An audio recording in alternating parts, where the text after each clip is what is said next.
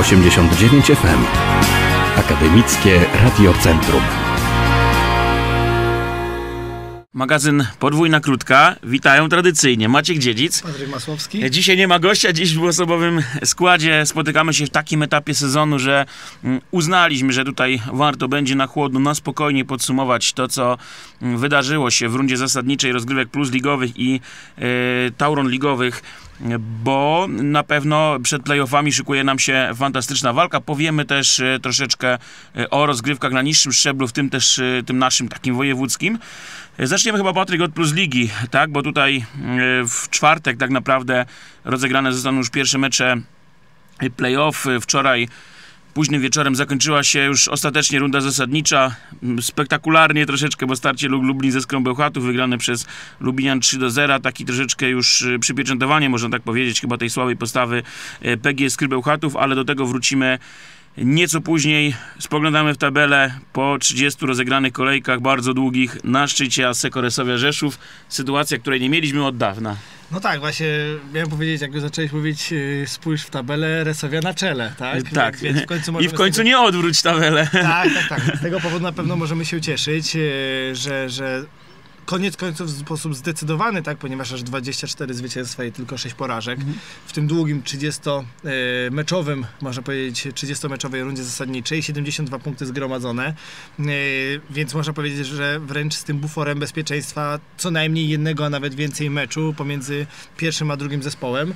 Chyba powinno cieszyć na pewno, mówiąc stricte to, że faktycznie były pewne dywagacje na temat tego, że kalku kalkulacja, czy, czy, e, czy Resowia, czy w ogóle opłaca się zająć pierwsze miejsce, bo, bo rozpędzona skra e, było, było takie prawdopodobieństwo, że może w, tak w cudzysłowie mówiąc wjechać do tej plus ligi, a czy do, do fazy playoff, mhm. tak? Z ósmego miejsca, no i Wielokrotnie poruszaliśmy to z naszymi gośćmi też, prawda? Ten wątek, że, że to pierwsze miejsce może być takim pocałunkiem troszkę śmierci, bo, bo najpierw ćwierćfinał bardzo ciężki z ewentualnie z drużyną z Bełchatowa, tą rozpędzoną, później ewentualny półfinał z zespołami, czy to z Aksy, czy z czy Równie z rozpędzonymi albo jeszcze bardziej No nawet. i finale już po wielki finał, tak? tak? Więc, więc, tutaj, więc tutaj można powiedzieć, że, że jednak ten duch sportu w pełni wygrał, a poniekąd to, co wspomniałeś, Skra Bełchatów przegrała finalnie tą możliwość wejścia do tego playoffu i, i, i zobaczymy rywalizację pomiędzy drużyną, już stricte to, co nas interesuje, z, pomiędzy drużyną Asekoresowi Rzeszów z, z drużyną e, PSG Stalinysa. Tak, no tutaj rywal e, też niewygodny, ale no nie da się ukryć, będzie niekwestionowanym faworytem Resowia, tak chyba możemy powiedzieć, zwłaszcza po tym, co widzieliśmy w rundzie zasadniczej też mm, nie tak dawno, przecież zespoły spotkały się jeszcze w Nysie, tam też Resowia nie po łatwym meczu, ale jednak wygrała. Gramy do trzech zwycięstw, więc nie ma tego takiego buforu, że jest bardzo mały margines błędu. To o tym zaraz też powiemy u kobiet, bo tam też ruszają playoffy nieco bardziej skróconej wersji. Natomiast y, tutaj widzimy, no, tak jak mówisz, no, zwyciężył sport, tak nie kalkulowali działacze, y, trenerzy, przede wszystkim Resowi trzeba było grać y, i fajnie, że startują z tego pierwszego miejsca. To też daje taki handicap, że w tej rywalizacji do trzech zwycięstw na każdym z etapów ewentualnych będą mieli Rzeszowianie ten decydujący mecz u siebie, będą mieli dwa pierwsze mecze u siebie, co jest też y, istotne, tak, bo można tutaj z przytupem, z pomocą hali y, na Podpromiu y, mocno wejść w rywalizację, zacząć od dwóch zwycięstw, to już jest na pewno duży, duży krok, dlatego taki duży plus. Czekamy i to chyba największy znak zapytania po tej rundzie zasadniczej, to już o, czym wielokrotnie mówiliśmy, że nadal Resowi brakło troszkę tych, bo, bo widzimy tutaj sześć przegranych, z czego są to dwie przegrane z Jastrzębskim Węglem, który jest na trzecim miejscu, dwie przegrane z Aluron Wartą Zawiercie, która jest na drugim miejscu i jedna przegrana z grupą Azoty Zaksą Kędzierzyn-Koźle, mm, która jest na miejscu czwartym, a więc tą czołówką przegrywała Resowia. Ten jeden, jedyny dodatkowy mecz wpadka to, to starcie z Suprum. To jest i, i dobre i złe, tak, bo po, pokazało tutaj, że no, Resowia w końcu grała, zachowała koncentrację, grała skupiona mm, ze wszystkimi tymi potencjalnie, powiedzmy, słabszymi zespołami. Natomiast no, nie udało się wygrać, nawet było blisko już w tym ostatnim starciu z Jastrzębiem. Czekają na playoffy, czy to twoim zdaniem może być ten taki syndrom, że jednak gdzieś w głowie zostaje, że no kurczę, my z nimi przegrywamy cały czas, a tu trzeba wyjść i wygrać trzy mecze przynajmniej, tak? Może to gdzieś tam oddziaływać, czy, czy wyczyszczane głowy i po prostu wychodzimy na każdy mecz jak mm, przystało i walczymy i, i, i nie będzie tutaj ta runda zasadnicza już odgrywała takiej znaczącej roli oprócz rozstawienia. Wiesz co, ja do takiego tematu zazwyczaj podchodziłem w tej wersji pesymistycznej, że jednak w tych najważniejszych meczach, yy, w tych meczach, które były najbardziej popularne, najbardziej rozpoznawalne, najbardziej się kibice nimi fascynowali i interesowali, jeżeli chodzi o tą rundę zasadniczą, no to faktycznie, tak jak powiedziałeś, większość tych meczów niestety przegraliśmy, tak? Ale yy, uważam, że faza playoff, gdyby jest tak innym graniem, tak innym ładunkiem yy, adrenaliny, gdzie dzień po dniu jest ten mecz też między innymi, czyli wracamy do tych takich według mnie najfajniejszych y, playoffów, gdzie, gdzie okej, gramy jeden mecz, ale możemy tam się ciąć, niech będzie te 5 setów, duże zmęczenie, ale musi być szybka regeneracja, bo następnego dnia wstajemy i znowu gramy. I, i musi być i ten reset organizmu, i ten reset głowy, tak, jeżeli chodzi o, o zmęczenie. Yy, więc, więc to może być bardzo ciekawe i optymistycznie.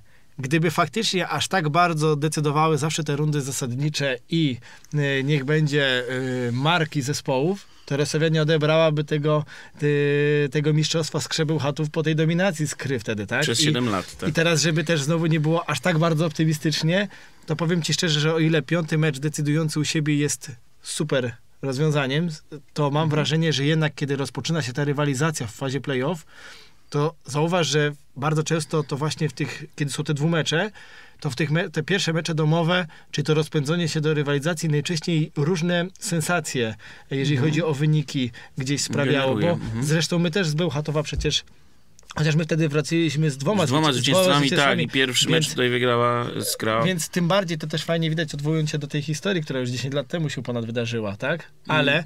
Ale, koniec końców tutaj będzie według mnie odgrywało kluczowe, kluczową rolę będzie odgrywało wejście dobre w pierwszy mecz. I zarówno czy to będzie, y, albo inaczej, w tą rywalizację tym pierwszym meczem właśnie. Czy to będzie rywalizacja z drużyną z Nysy, czy to już będzie rywalizacja, miejmy nadzieję, w półfinale lub finale. To ten pierwszy mecz to będzie taki to będzie to zejście takie z tych emocji rywalizacji, z tej adrenaliny i wejście już w czystą siatkówkę. No tak, ja tak później... to interpretuję. Przegrywając pierwszy mecz, już tutaj stawiamy się troszeczkę pod ścianą, tak? Bo jest drugi mecz u siebie, presja rośnie, rywal może grać swobodnie. Potem w perspektywie dwa mecze wyjazdowe, które też łatwo nie będzie wygrać, więc tak jak mówisz, no tutaj dalej ten syndrom pierwszego meczu będzie być może kluczowy w tej, w tej rywalizacji. Ale wiesz co, to, to jeżeli mówimy o rywalizacji Sekoresowi, która oczywiście nas najbardziej interesuje, Mhm. to co ma powiedzieć Kędzierzyn i Warszawa? Warszawa była mega rozpędzona, teraz mam wrażenie, że delikatnie wyhamowała ta forma, ale dalej to jest bardzo groźny zespół, a Kędzierzyn, który ma z tyłu głowy cały czas rywalizację jeszcze w Lidze Mistrzów, tak? Dokładnie tak, bo, bo tutaj przecież czwartek jeszcze mm, wyjazdowe starcie w Perugii bardzo ważne też, tak? Mhm. I, I potencjalnie obronion, m- mogą tutaj pozostać w grze o obronienie tytułu ym, klubowych mistrzów Europy po raz trzeci z rzędu, co by było absolutną w ogóle e, sensacją i gdzieś tam polski finał krąży nam tutaj po głowach już po tych pierwszych meczach.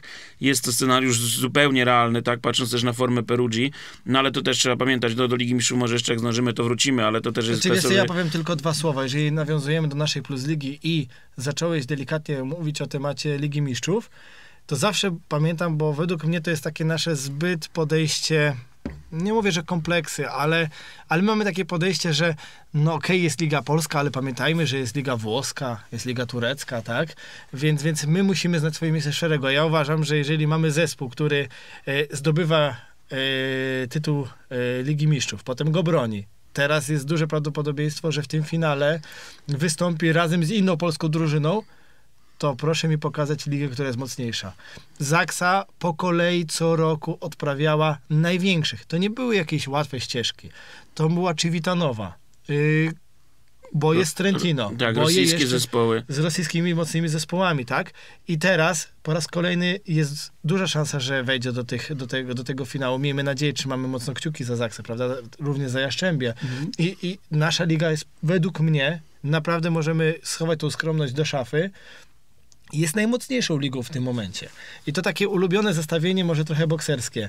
Bardzo bym chciał, gdyby oczywiście byłaby taka możliwość, pewnie no, to jest bardzo, znaczy to jest nierealne, umówmy się, ale jakby faktycznie ten pierwszy zespół z Ligi Polskiej zagrał z pierwszym zespołem z Ligi Włoskiej, drugi z drugim, trzeci z czwartym i tak dalej, aż do tego ostatniego wręcz zespołu. 12, bo Włosi mają troszeczkę krótszą Tak, ligę. to, jest wydaje też- mi się, że no 12, no to na 11 miejscu Skarabeuchatów przykładowo, tak? No I też to- pokazała, że potrafi walczyć chociażby z włoską Modeną tak naprawdę Tak. jak równy z równym. gdzie była w dużym dołku. Tak, wówczas chodzi- będąc, oczywiście. Więc, więc ta nasza liga, doceniajmy ją, bo jest bardzo silna, jest bardzo, bardzo konkurencyjna Mhm. i naprawdę mam wrażenie, że więcej osób za granicą docenia tą naszą ligę, patrząc na to, jacy zawodnicy Mhm. chcą przychodzić do naszej ligi, niż my sami, co według mnie jest dużym błędem. Powinniśmy ją chwalić i, i stawiać w tym pierwszym rzędzie. Tak, i na tym prostym y, przykładzie no, możemy popatrzeć i zacierać ręce.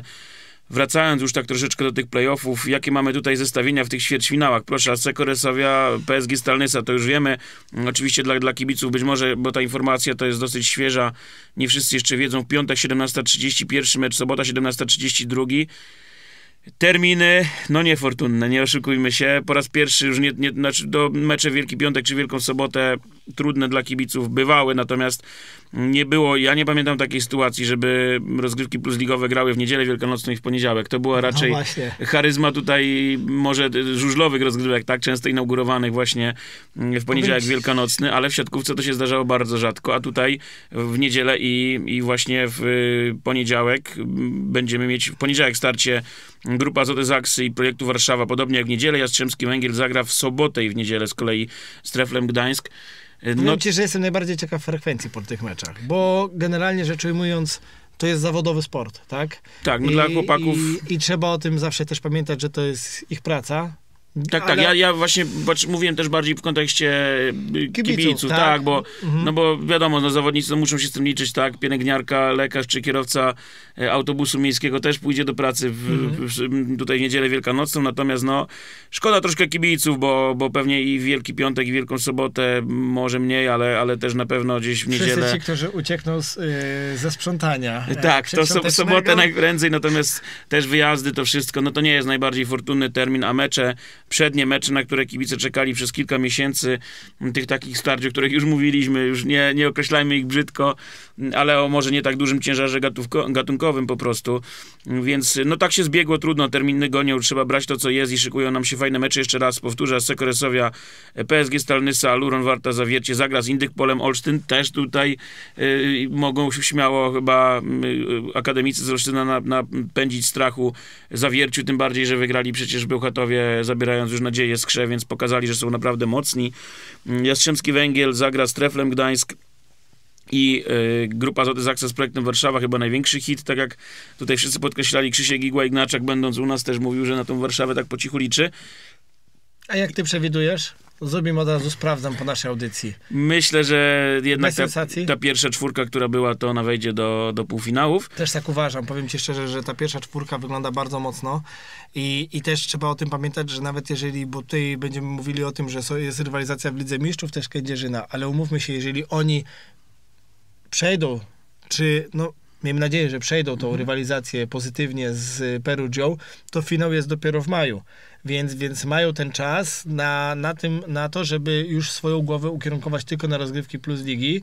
Więc jedyne, co może im przeszkodzić, to faktycznie to takie fizyczne zmęczenie, psychiczny ładunek pewnie też tej rywalizacji w Perugii, Tak, prawda? no bo bardzo, bardzo trudny mecz. Też grali ze Strzemskim Węglem, ważny pojedynek.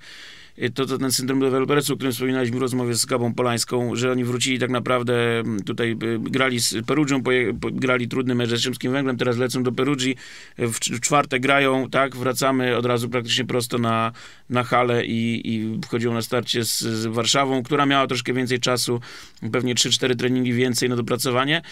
Może to zmęczenie gdzieś tam twoim zdaniem od, odgrywać rolę jednak Zaksy, czy, czy jak wyłożą ten piłkarski Real Madryt, tak, to siatkarski, przepraszam, Real Madryt, w cudzysłowie rzecz ujmując, to już pójdą nakręceni i będzie ich ciężko na razie zatrzymać mimo jakiegoś tam zmęczenia. Powiem ci tak, i w momencie, w którym e, Zaksa zdobędzie ostatni punkt, dający im dwa wygrane sety w Perugii, nikt nie będzie czuł jakiegokolwiek zmęczenia. No to będzie to taki takie ładunek emocjonalny. To jest tak jak zawsze. Jeżeli przegrasz, to cię dużo bardziej boli. E, wszystko w twoim organizmie. Barki, stawy, mięśnie i tak dalej. A w momencie, w którym wygrywasz, budzisz się bez bólu jak nowonarodzony. Więc, więc uważam, że jeżeli tylko mm, e, uda się e, przypieczętować, bo tak bym chciał powiedzieć, patrząc na formę Perugii, która ma bardzo duże teraz już problemy też Mhm. w, w lidze włoskiej, jeżeli chodzi o fazę playoff, bo tam piąty decydujący mecz w ramach ćwierćfinału z drużyną z Milanu, e, z Mediolanu, tak powinien powiedzieć. Tak, tak, dokładnie. Będzie decydował o tym, czy oni w ogóle wchodzą do strefy medalowej w ramach playoffów, to oni naprawdę z tyłu głowy mają jeszcze większy ciężar, dlatego no, z prostego powodu, no popatrzmy, Kamil Semeniuk, którego tutaj sam osobiście jestem wielkim kibicem i fanem, ale dla mnie przykro się patrzyło na niego w momencie rywalizacji z Zaksą, bo to był zupełnie inny Kamil.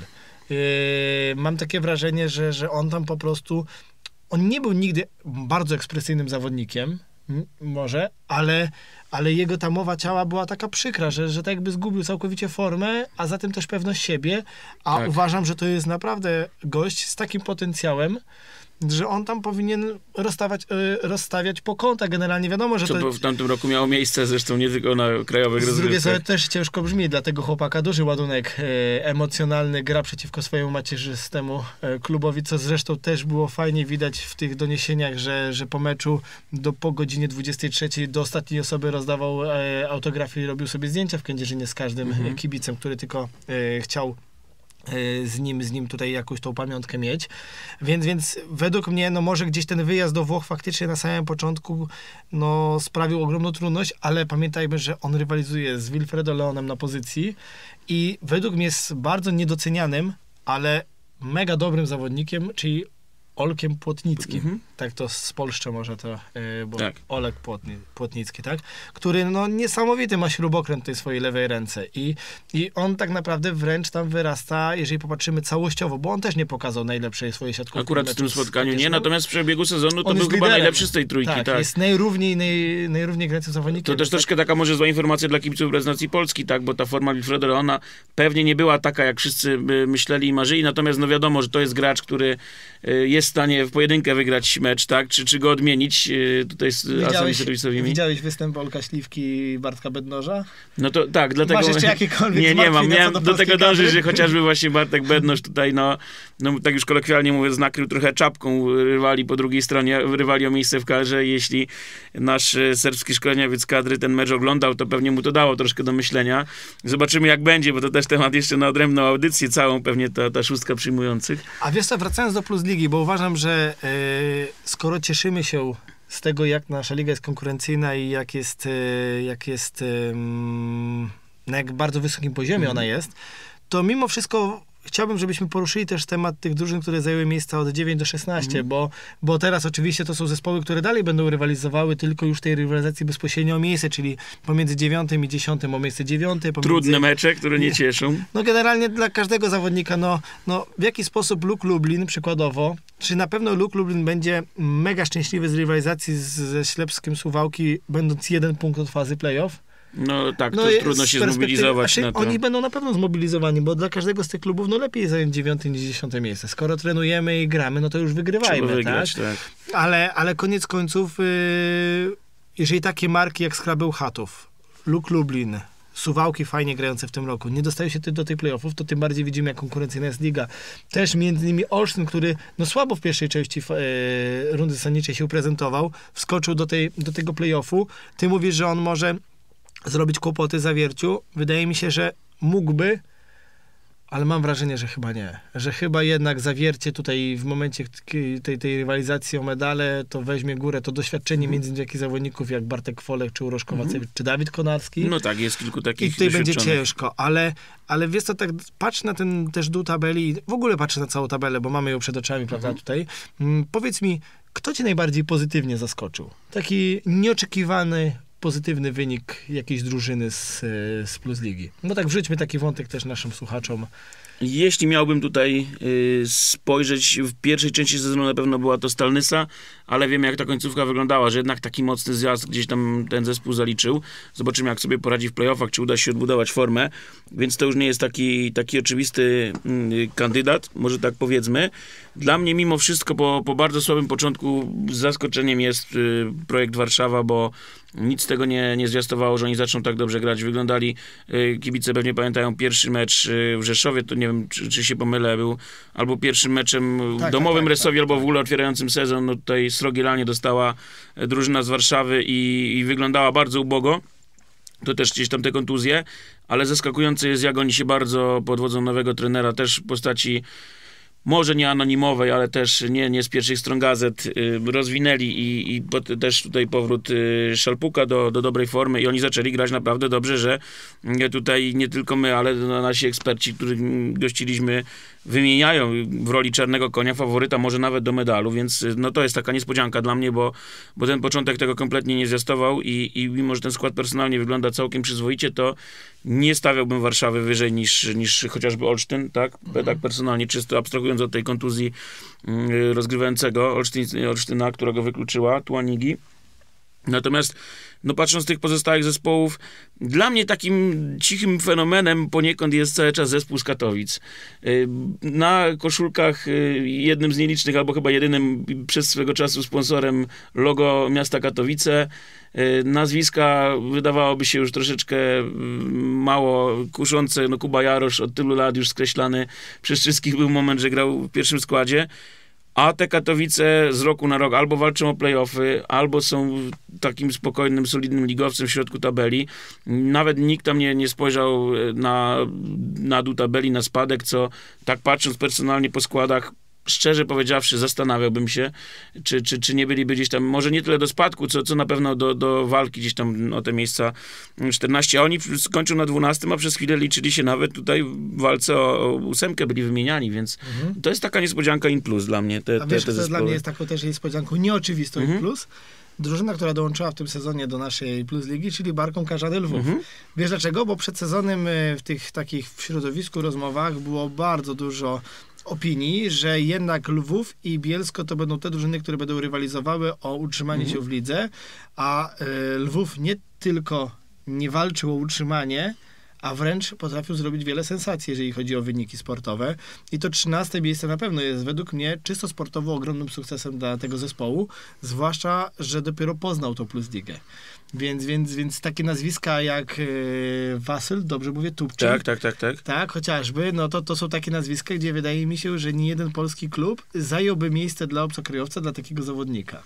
Więc, Zgadza więc... się. W tym momencie zastanawiam się nawet, jak jego kariera tutaj dalej się potoczy, bo mm. na mhm. pewno tych ofert kilka jest. Gdzieś tam się jakieś przewijały rokowania. Zobaczymy, co się potwierdzi. Nie będziemy mm. tutaj dywagować, ale rzeczywiście, no tak dodajmy, 8 wygranych meczów, 30 punktów i to też świadczy o tym, że oni byli e, chyba w tym roku wygrywają ten plebiscyt na mistrzów tiebreaków, tak? Bo oni tych tiebreaków tak. się ograli niemiłosiernie wiele. No, po prostu więc... bardzo chcieli grać w naszej lidze jak najwięcej tak. meczów. No i to, i to świadczy też o waleczności, tak? No właśnie, cieszyli się mm. tego, że mogą mogą grać. Ale popatrz, jaka dysproporcja.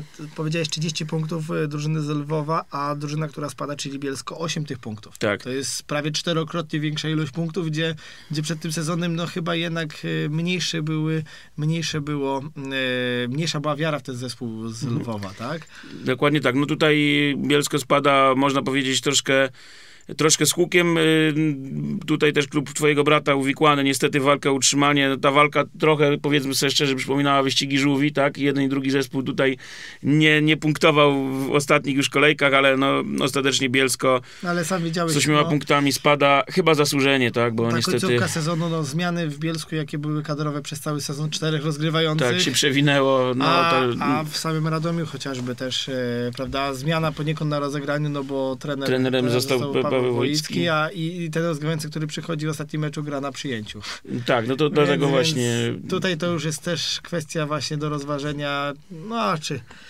Na tym może bym poprzestał. Na tym poprzestajmy, bo ten czas nam tutaj tak. pięknie Przejdźmy do Tauron Ligi, która też jest blisko finiszu, jeżeli chodzi o, o rundę zasadniczą. To znaczy już, już dzisiaj rusza nam tutaj faza e, playoff. Zgadza się. Dorkowy wieczór. Mhm. Będziemy mieli e, święto w Rzeszowie, tutaj mhm. 20.30, pierwsze starcie dewelopresu Bella Dolina Rzeszów i, i, i Wolej Wrocław wcześniej starcie czwartej z piątą drużyną. To będzie y, też taki troszkę chyba najbardziej y, zacięty pojedynek, tak jak to zwykle bywa nawet z samego rozstawienia, ale też patrząc po markach, no Bostik Bielsko-Biała, Energia, MKS Kalisz mogą się, brzydko mówiąc, tutaj tłuc między sobą te drużyny, jednak w trzech pozostałych parach faworyt jest tylko jeden. W parze z Developresem, Developresu i Wolej Wrocław oczywiście to Rzeszowianki są faworytem. Dzisiaj pierwszy mecz. Tak, dokładnie, dzisiaj 230. My zapraszamy na antenę Radia Centrum naszych słuchaczy. Ja zapraszam na transmisję z, z hali imienia Strzelczyka. Jeśli nie macie możliwości być w hali, to zapraszamy do, do słuchania naszego radia. Yy, ju- Też starcie Chemika Police z Grot Budowlanymi Łódź, rewanż za półfinał Pucharu Polski. Faworyt jest jeden, no i na starcie Łodzianek z y, Pałacem Bydgoszcz. Też tutaj nie ma chyba innej opcji. To jest jeszcze bardziej chyba tutaj łatwo wytypować faworytu, łatwo wytypować tą półfinałową e, czwórkę. Różnica jest jedna, gramy do dwóch wygranych, a więc zespoły dzisiaj grają pierwszy mecz, później rewanż jest u zespołu niżej notowanego i wracamy ewentualnie na e, trzeci decydujący mecz do zespołu wyżej rozstawionego. To jest dopiero, tutaj jak rozmawialiśmy, to jest dopiero ważne, żeby dobrze zacząć, tak? No bo popatrzymy sytuację, gdy jakimś cudem dzisiaj, czy, czy, czy to Developers, czy Police przegrywają swój pierwszy mecz i jadą do tego słabszego, napędzonego zespołu, presja jest już gigantyczna, no i co wtedy, tak? Do tego to te playoffy skrócone do minimum są takie troszeczkę niebezpieczne w tym momencie. No ja ci powiem, od razu się wytłumaczę, że z tymi playoffami. Mhm. Myślałem już o y, Tauron pierwszej lidze męskiej, gdzie playoffy są tuż, y, jesteśmy na, na zakończeniu fazy zasadniczej, jednocześnie y, Tak, no patrząc w tabelę Tauron tutaj, Ligi, tak. tak. No w każdym razie w pełni się z tobą zgadzam. Tutaj cie, ciekawa jest bardzo, chyba jeszcze, jeszcze bardziej ciekawa jest sytuacja od, od, naszego wywiadu z y, Gabo Polańską ostatniego, Mhm. bo, bo tutaj mamy jeden punkt dzielił finalnie y, pomiędzy pierwsze miejsce z drugim, czyli ŁKS z Developresem, a za nimi ta rozpędzona, tym bardziej jeszcze potwierdzając to w Pucharze Pucharze Polski, y, drużyna z Polic, tak? Więc, więc ta rywalizacja tutaj może być niesamowicie zawzięta Mhm. i niesamowicie ekscytująca. Dlatego powiem ci tak szczerze, nie obstawiałbym tutaj jakiejkolwiek sensacji w tym ćwierćfinale, mimo nawet jeżeli, tak jak mówisz, by jakaś się wpadka pojawiła, to i Mhm. tak uważam, że y, te trzy pierwsze zespoły na, na, pewno, Mhm. na pewno się obronią i, i no i chciałbym też powiedzieć, że mam nadzieję już ostrzyć sobie mm, apetyt na, na rywalizację pomiędzy d- Developresem a Policami w półfinale, tak? No to będzie znów mordercze pojedynki będą, by- bo naprawdę y, pokazał ten Puchar Polski, że już nie dwójka, a trójka zespołów, tak jak mówisz, bardzo wyrównanych. Police odwróciły mecz z Łodzią. Y, Miała też Łódź, no tutaj trwający blisko 3 godziny pojedynek z Developersem, ten półfinałowy. Żałujemy, tak, bo o tym też trzeba powiedzieć dla, dla naszego klubu, że ten Puchar Polski nie został obroniony, ale ja miałem tutaj przyjemność e, spotkać e, prezesa Marka Pieniążka przypadkowo na, na drugi dzień i mm, uśmiechnął się. Ja mówię, panie prezesie, to spokojnie, od dawna takie stwierdzenie chodziło, że kto ma Puchar Polski, ten nie ma mistrza Polski, to w tym roku sobie zostawicie na deser. Ten triumf i się uśmiechnął i mówi, że tego by sobie życzył, więc wierzymy, że tak e, będzie. Mm, No dziś zaczyna się drużyna z Wrocławia, młody zespół gdzieś tam po przebudowie. Liczymy, że tutaj nie będzie żadnych niespodzianek, że suchą nogą przejdą przez te ćwierćfinały Rzeszowianki i będą mogły nastawiać się na to wielkie starcie z Chemikiem Police.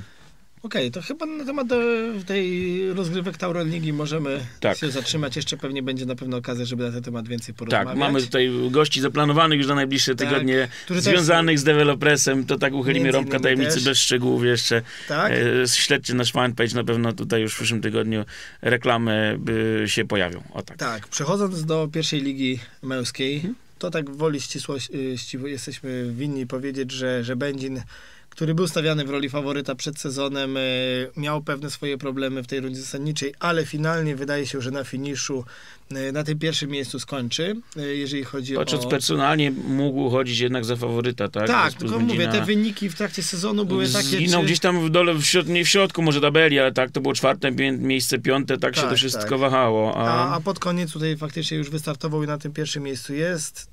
Dalej cały czas na tym czołowym miejscu utrzymuje się drużyna Norwida Częstochowa, która Mhm. dosyć niespodziewanie po zmianie trenera na sam szczyt skoczyła ligi, a, a teraz no, musiała ustąpić tego miejsca, ale tylko dwa punkty ją dzielą od Będzina. No i później mamy delikatne już, y, delikatne, no, te- dwie drużyny można powiedzieć, że punktowo odjechały, ponieważ na trzecim miejscu y, trzecia drużyna ma 59 punktów, czyli aż 8 punktów straty do drugiej Mhm. Częstochowy, czyli mówimy tutaj o drużynie Chemeko System Gwardii Wrocław i cały czas y, mająca aspiracje też do gry w Plus Lidze drużyna BKS-u Wisły Proline Bydgoszcz. Ta rywalizacja tutaj można powiedzieć, wydaje się, że e, jeszcze może odbyć się, jeżeli chodzi o fazę playoff, ewentualnie drużyna Chrobry Go- Gogów może próbować zaczepić się o tą rywalizację, żeby do tej ósemki kosztem e, Lechii, Tomaszów, Mazowiecki wskoczyć, ale to jest dwa mecze, cztery punkty różnicy, może być ciężko. Więc można powiedzieć, że mm, w playoffach e, znajdzie się drużyna z Będzina, z Częstochowy, z Wrocławia, Bydgoszczy, Kluczborg, który też w pewnym momencie był takim pozytywnym objawieniem ligi. Awi Świdnik, która... Chyba zmiana trenera świeża, tak? Tak, tak, Witold tak. Kwastyniak zwolniony, legenda. Tak, i w jego miejsce wskoczyła inna legenda, tylko że już klubu ze Świdnika, czyli Kuba Gus, y, wieloletni zawodnik na pozycji przyjmującego Mhm. i libero w ostatnim czasie. E, Ale ta drużyna też była na samej górze. Skąd to zwolnienie? No pewnie to miejsce w tabeli w tym momencie, czyli szóste miejsce. Tam apetyt, można powiedzieć, e, rósł w miarę jedzenia, jak to się Tak, mówi. w Świdniku. Mm, Zawsze solidna drużyna akademicka AGH-u e, Kraków, e, AZS AGH Kraków na, na Trener Andrzej miejscu. Kubacki, nieśmiertelny. Tak, tak. Były szkoleniowiec y, kędzierzyńskiego Pedagog. Mostu Stalu chyba jeszcze wtedy, albo już Zaksy.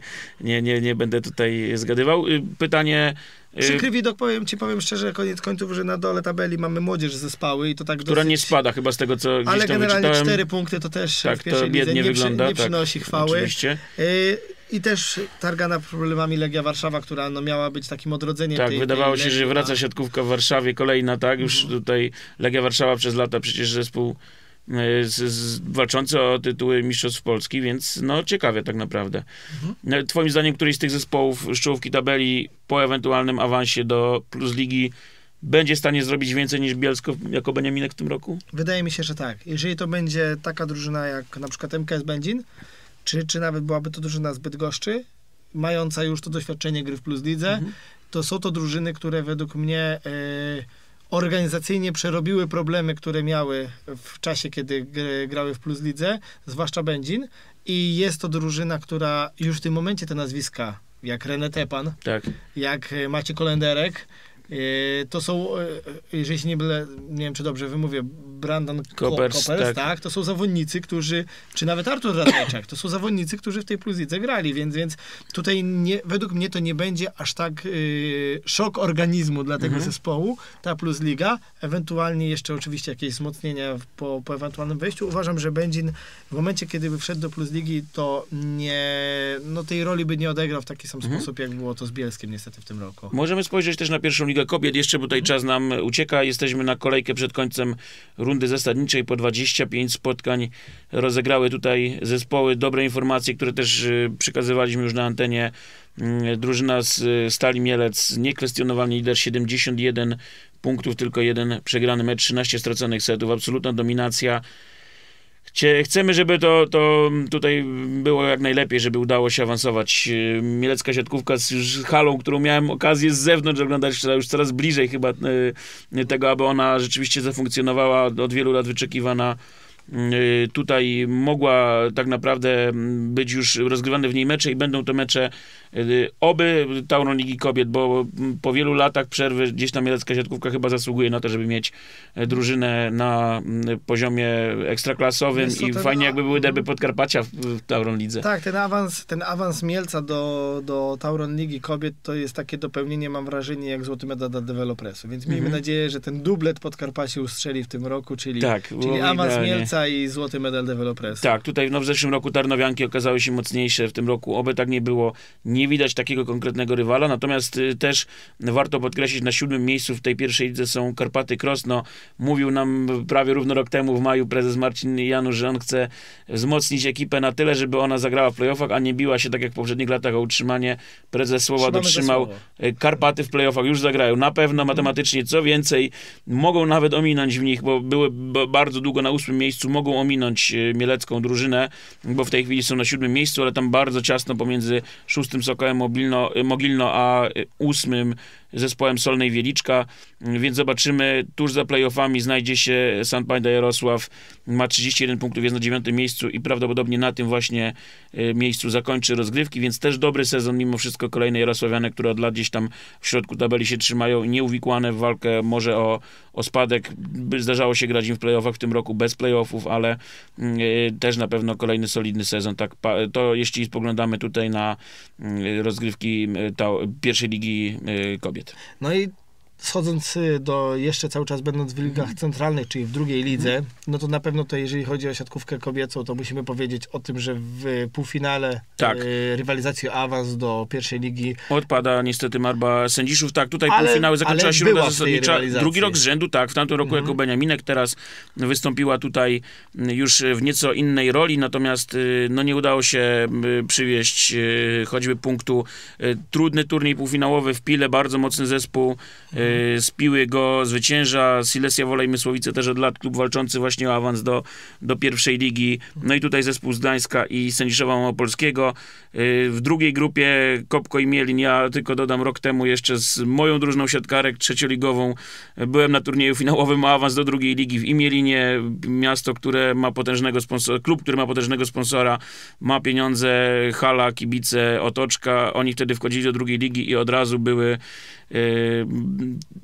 takie rokowania, że będą grali o awans i rzeczywiście są blisko tego awansu, wygrali tą grupę czwartą, tą taką południową, powiedzmy sobie szczerze i tutaj też y, przeszły jak burza tak naprawdę po, mm, po tym turnieju y, półfinałowym, nie tracąc nawet y, seta, więc y, tutaj zespół z Imielina na Śląsku może okazać się nowym pierwszoligowcem, wymienia się go tutaj w roli głównego faworyta oprócz mm, zespołu z Piły.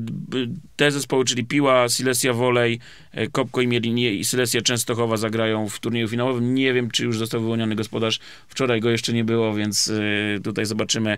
E, Ale mówię, no tutaj kończymy tą informacją e, o naszym podkarpackim zespole Marby Sędziszów, który na tym etapie i tak Odpada bardzo dalekim odpada z rywalizacji. rywalizacji o pierwszą ligę. I teraz widzisz analogicznie do tej drużyny, o której wspomniałeś, czyli Mielinie, Mhm. możemy przejść do drugiej ligi mężczyzn. Tutaj Mhm. niestety nasze zespoły, mm, czyli patrzymy przede wszystkim na drugą ligę, grupę czwartą, prawda, bo to jest ta grupa, która, w której grają podkarpackie zespoły. No to tutaj... Kluczowej roli nie odegrały. Mhm. Znaczy generalnie solidnie, ponieważ jeżeli zobaczymy, że na czwartym miejscu są Karpaty Krosno, które zawsze są w czołówce, na piątym e, Ekstrans Sędziszów e, z naszym gościem Łukaszem Perłowskim w składzie, na szóstym e, MKS Gamrat Mosir Jasło, na ósmym Błękitni Robczyce, no i niestety tabelę zamyka AKS Piątelo Rzeszów.